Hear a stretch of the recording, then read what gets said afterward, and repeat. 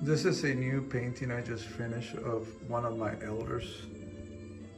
This is, this is a Lipan Apache elder. This is painted on masonite. Uh, it's oil on masonite, 16 by 20.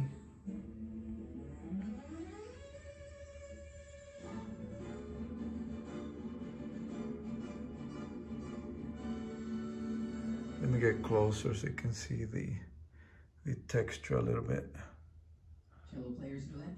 I use a palette knife and paintbrush on the background and as I laid the colors with the brushes, I came back with a palette knife and added those brighter colors.